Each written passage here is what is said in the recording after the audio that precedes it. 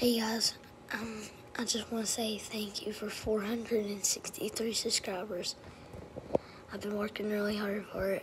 I'm so happy you guys got me there. Thank you. Subscribe.